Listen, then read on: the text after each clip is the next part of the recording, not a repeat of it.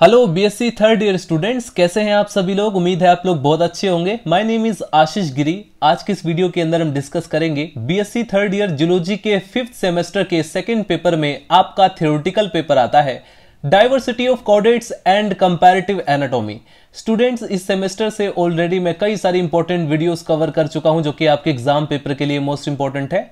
तो अगर आप उन वीडियोस को देखना चाहते हैं तो चैनल के अंदर जाकर देख सकते हैं या फिर इसी वीडियो के डिस्क्रिप्शन बॉक्स में आपको एक लिंक मिलेगा। जैसे ही आप उस लिंक पर क्लिक करेंगे, आप डायरेक्ट उस प्लेलिस्ट तक पहुँच जाएँगे। स्टूडेंट्स, इस सेमेस्टर से पिछली वीडियो के अंदर हमने कवर किया था बेलेनोग्लोसस के डाइजेस्टिव सिस्टम के बारे में। इस वीडियो के अंदर हम कवर करेंगे एक मोस्ट इंपॉर्टेंट टॉपिक बेलेनोग्लोसस के रेस्पायरेटरी सिस्टम के बारे में। यदि आपके एग्ज़ाम पेपर में लॉन्ग क्वेश्चन में पूछा जाता है बेलोनोग्लोसस के रेस्पिरेटरी सिस्टम के बारे में तो कौन सा डायग्राम बनाना है, कितना लिखना है, कैसे एक्सप्लेन करना है, वो सब मैं इस वीडियो के अंदर आपको बताने वाला हूँ।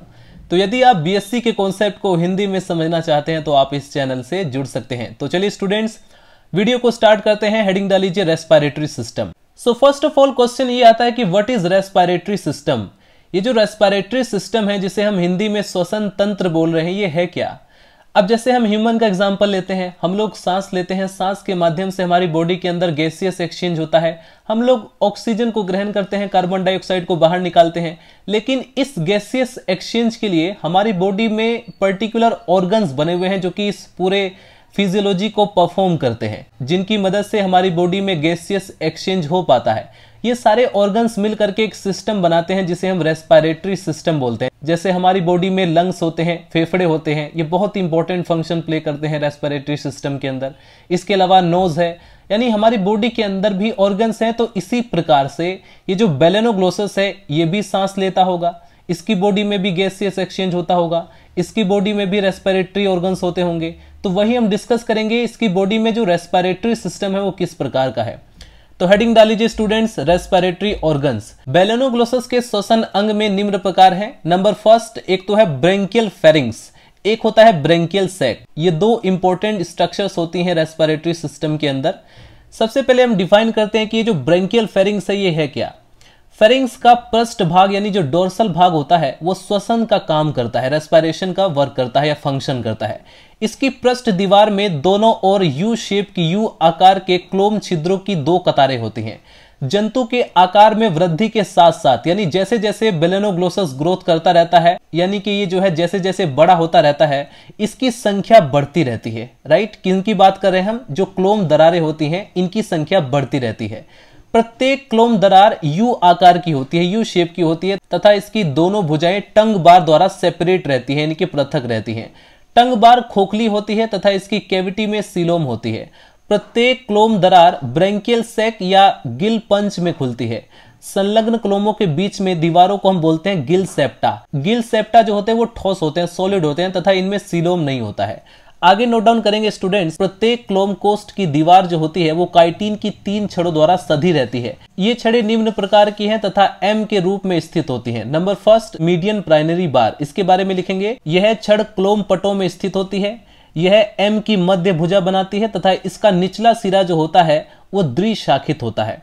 इसके बाद नंबर सेकंड आती है सेकेंडरी बार हमने देखा number first median primary bar दूसरा होता है सेकेंडरी बार सेकेंडरी बार की बात करें तो उसमें आप लोग लिखेंगे, संख्या में दो होती हैं, ये टंग बार में स्थित होती हैं, तथा एम की लेटरल भुजाएँ बनती हैं।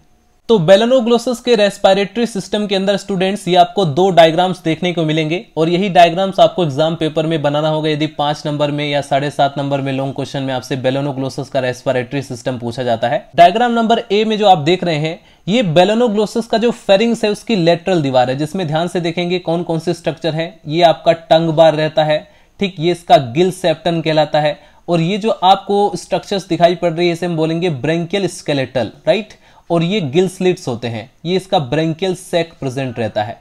राइट तो ये कुछ इंपॉर्टेंट स्ट्रक्चर्स होते हैं। उसके बाद जो आप लोग सेकेंड डायग्राम देख रहे हैं, ये इसी के पार्ट का एक थोड़ा सा मैग्नीफाइंग व्यू है। थोड़ा बड़ा करके इसको दिखाया गया है और इसको क्लिक किया गया है इस पिक्चर को। इसको अगर आप लोग ध्यान से देखें तो ये जो आपको स्ट्रक्चर दिखाई दे रही है रोड की तरह, ये गिल स्लिट्स रहती है। इसके बाद ये आपका टंग रहता है और ये जो आपको स्ट्रक्चर दिखाई पड़ रही है, इसे हम बोलेंगे साइनेप्टिक्यूली ठीक है? और ये जो आपको दिखाई दे रहा है, ये सेकेंडरी गिल बार कहलाता है। इसके बाद ये जो आपको स्ट्रक्चर दिखाई दे रही है, इसे हम बोलेंगे प्राइमरी गिलबार जिसे हमें, हमने एक्सप्लेन किया था, ठीक है? तो डायग्राम के बेसिस पर भी आप एक्सप्लेन चीज़ों को कर सकते हैं। आगे स्टूडेंट्स नोट डाउन करेंगे ब्रेंकियल सेक ठीक है? ब्रेंकियल सेक में आपको लिखना है, प्रत्येक क्लोम एक क्लोम कोस्ट, यानी कि गिल पंच या ब्रेंकियल सेक में खुलती है, जो पुनः क्लोम छिद्र द्वारा बाहर खुलता है। प्रत्येक क्लोम सेक जो होता है वो देह, भित्ति यानी जो बॉडी वाल होती है एवं फेरिंग्स के बीच में खुलता है। आगे लिखेंगे, स्टूडेंट, ये छड़े यानी कि ये जो रोड्स होती हैं, ये ट्रांसफर्स कनेक्टिव्स द्वारा एक दूसरे से जुड़ी रहती हैं, जैसा कि हमने अभी जस्ट डायग्राम में भी देखा था।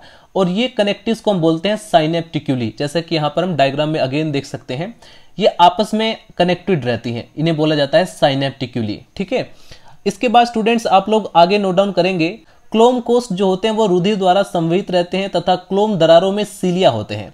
अब हम देखते हैं स्टूडेंट्स मैकेनिज्म ऑफ़ रेस्पिरेशन यानी कि रेस्पिरेटरी ऑर्गन को एक्सप्लेन करने के बाद डायग्राम बनाने के बाद, हमें इसका मैकेनिज्म देखना होगा कि इसमें रेस्पिरेशन होता कैसे है।